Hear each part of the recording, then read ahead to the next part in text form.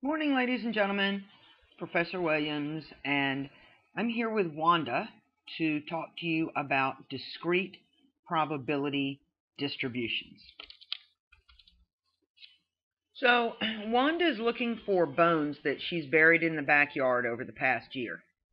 And if she digs around long enough, she will find no bones, one, three, five, or six. And these are discrete occurrences because what we know is that there are no values that exist in between the whole number of bones. In other words, she only buries whole bones, and so we're only dealing with discrete observations. So she wants to know the expected return she's going to get on her digging efforts. If the probability of her outcomes, i.e., the number of bones she finds, is as shown on this discrete probability distribution. So what we know is that the probability that she finds none is 17%, probability she finds 1, 13%, 3 is 36%, 5 is 25%, and 6 is 9%.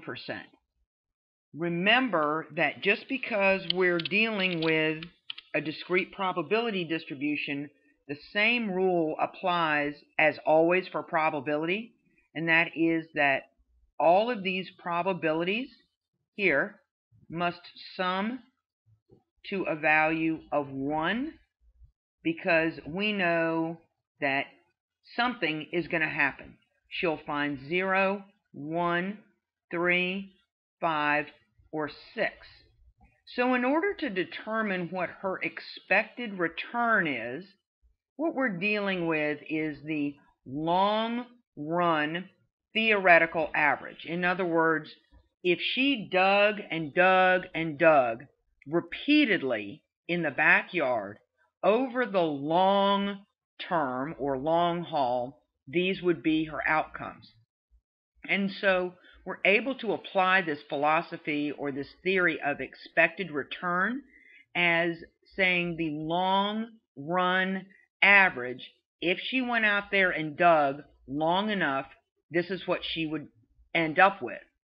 The way that we calculate expected return or long run theoretical average of a discrete probability distribution is we say each individual outcome of x times its related probability summed together.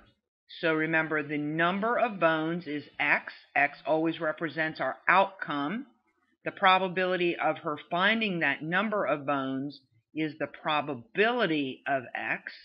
So really all we're going to do is we're going to take the outcome of number of bones times the probability of finding that number of bones, multiply them together, and continue to add them all up. So what this ends up looking like is I have taken the x, the outcome, times the probability of x down here. So the probability that she found zero bones was 17%. The probability she found one was 13%. Probability of three, 36. Five bones, 25%. Six bones, 9%. So I took x times the probability of x,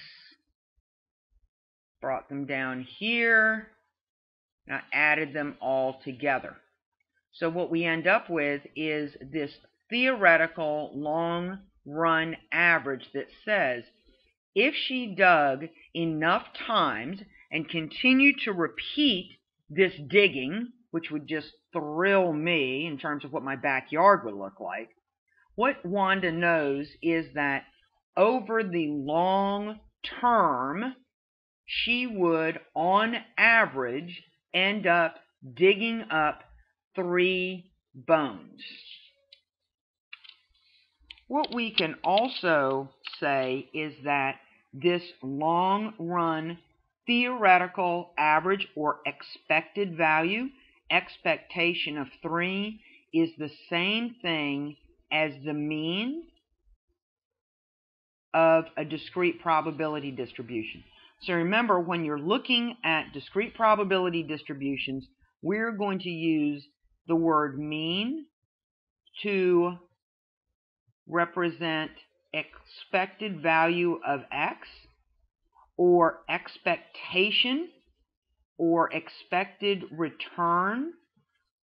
So when you see terms like expectation, expected return, expected value, what we really know is we're simply dealing with the long run theoretical average of a discrete probability distribution. So I'm going to run because I think that Wanda is digging up my backyard. Hope you have a great day.